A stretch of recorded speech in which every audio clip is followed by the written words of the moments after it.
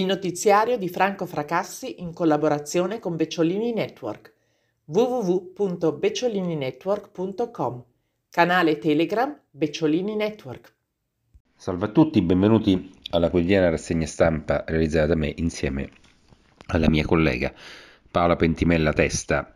Oggi è il 20 gennaio e parleremo di cioccolata, di Siria e di automobili elettriche. Notizia numero 1. Ogni tanto una buona notizia di riscatto. L'Africa sfida le multinazionali del cacao e avvisa basta sfruttamento o vi cacciamo. L'Europa è il più grande consumatore al mondo di cioccolato, mentre l'Africa occidentale è il principale coltivatore delle fave di cacao, da cui si fa appunto la cioccolata che noi consumiamo. Ed è proprio sul cacao, o meglio su sostenibilità e costi del cacao, che da tempo i due continenti si scontrano. Finora a perderci sono stati coloro che il cacao lo producono, come Ghana e Costa d'Avorio, motivo per cui, dopo aver boicottato a ottobre la partecipazione all'evento del World Cocoa Foundation di Bruxelles, entrambi i paesi hanno chiesto all'Unione Europea di mostrarsi concretamente intenzionata a rispettare gli impegni presi, pena il divieto di accedere alle, pan- alle piantagioni per fare previsioni sui raccolti e la sospensione dei programmi di sostenibilità, scadenza 20 novembre scorso. Beh, cos'è successo dopo quella data? Nel concreto mica tanto. La Ivory Coast Ghana Cocoa Initiative un'organizzazione regionale nata nel 2018 con il fine di aumentare in modo sostenibile i guadagni percepiti dai coltivatori di cacao nei rispettivi paesi, in un comunicato ha riferito è stato preso atto degli sforzi compiuti da alcune aziende e della loro disponibilità a trovare insieme soluzioni per una produzione sostenibile di cacao che ponga i produttori al centro di questa strategia. Per questo è stato istituito un gruppo di lavoro di esperti composto da rappresentanti dei Paesi membri e dagli stakeholder del settore del cacao per studiare soluzioni per meglio risolvere alcuni problemi e garantire un meccanismo di prezzo sostenibile nel lungo termine. L'auspicio è trovare un compromesso intelligente, come lo ha definito Patrick Aci, il primo ministro aivoriano. E il problema è che non sarà facile, perché questo comporterebbe i, nei vari paesi africani la riduzione dell'impiego di forza lavoro minorile, perché per lavorare, per estrarre eh, il cacao, vengono utilizzati tantissimi minori, che in questo momento sono l'unica forza lavoro che tantissimi agricoltori possono permettersi di pagare, e una diminuzione della pratica deforestazione che solo negli ultimi dieci anni ha distrutto in Africa 24.000 km quadrati di foresta. E ovviamente questa deforestazione avviene perché i produttori di cacao, per rientrare nei costi e per sopravvivere, devono deforestare il più possibile. Se invece venisse pagata di più la materia prima, come chiedono Ghana e Costa d'Avorio, gli agricoltori potrebbero permettersi di produrre cacao in condizioni migliori. Il problema è che le multinazionali non sono disposte a spendere di più.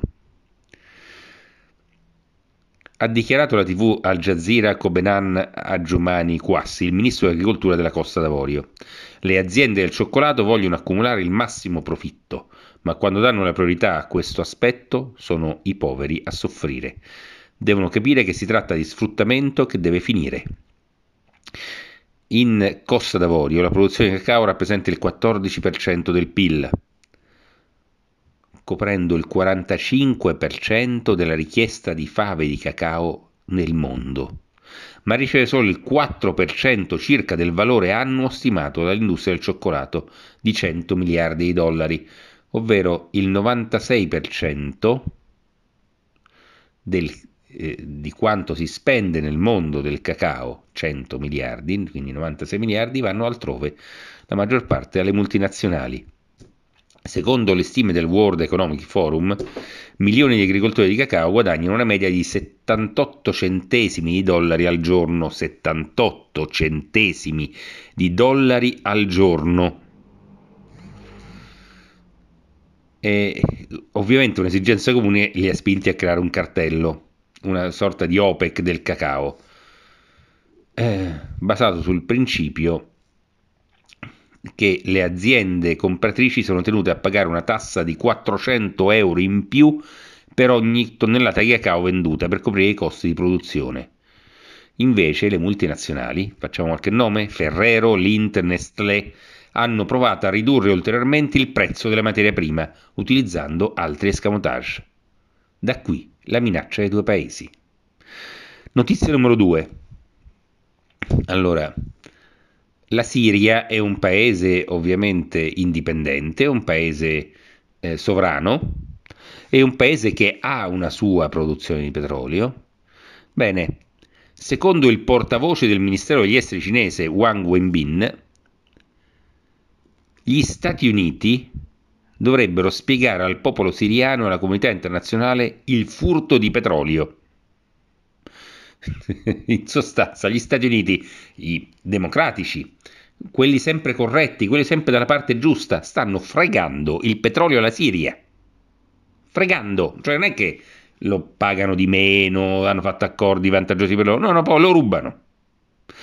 Sempre secondo Wang Wenbin, Secondo i dati ufficiali del governo siriano, oltre l'80% della produzione giornaliera di petrolio siriano è, stata, è, stato contrabbandato illegalmente dalle forze armate statunitensi nella prima metà del 2022. In sostanza, gli Stati Uniti finanziano Al-Qaeda, bisogna ricordare questa cosa, gli Stati Uniti stanno finanziando Al-Qaeda e ISIS. Non ci dimentichiamo mai di questo. In Siria Al-Qaeda e ISIS sono finanziati dagli Stati Uniti per fare cosa? Per fregare il petrolio alla Siria, tra le tante cose. E questo saccheggio sta portando a una catastrofe umanitaria in Siria. Perché quei soldi servono per finanziare il welfare siriano, per aiutare i poveracci siriani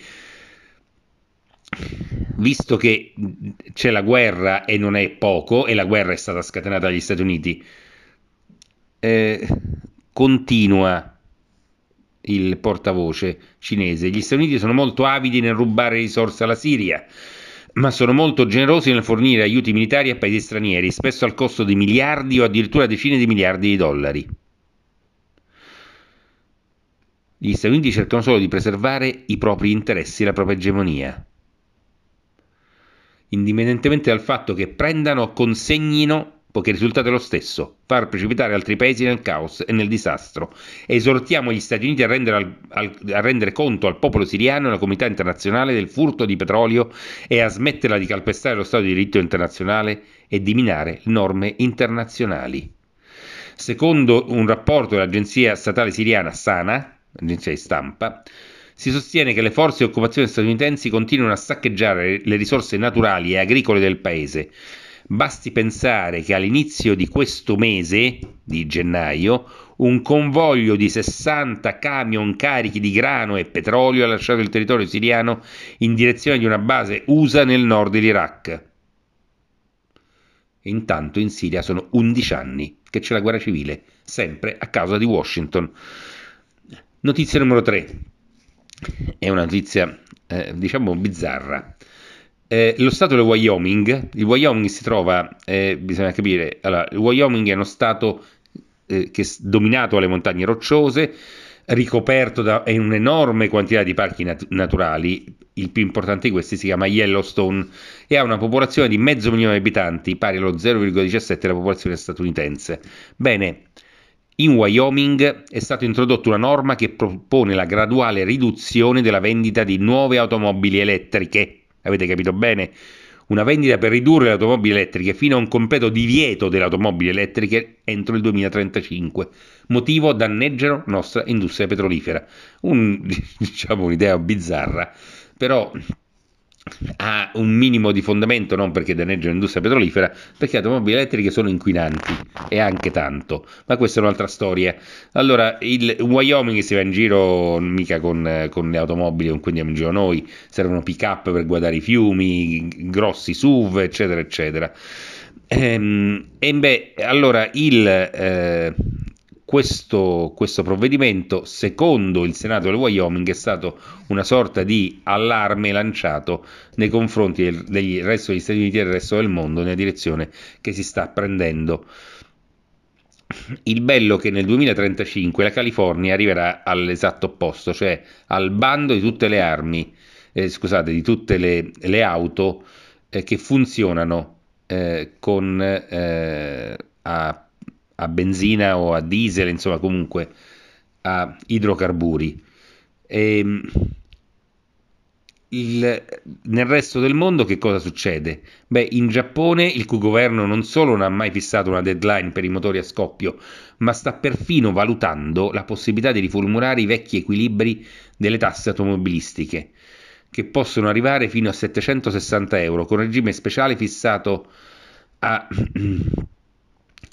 eh, un quarto, quindi circa mh, 200 euro, per i veicoli a batteria o all'idrogeno, quindi costano di meno. Il, eh, da adesso in poi, diciamo, anche le auto elettriche incominceranno a pagare di più se avranno cilindrate più alte. E poi Jeremy Hunt, ministro delle finanze del Regno Unito, ha dichiarato che eh, il governo introdurrà di nuovo tasse sulle auto elettriche a partire dal 2025. Del resto Londra deve fare ecco, i conti con un buco di 55 miliardi di sterline che si è aperto nelle loro finanze causa pandemia, causa eh, guerra in Ucraina, anzi politiche di contrasto eh, alla Russia e l'Italia, beh, anche il governo italiano ha fatto sapere che ci sta riflettendo che la deadline dell'Unione Europea fissata per il 2035 beh, va rivista. Ciao a tutti.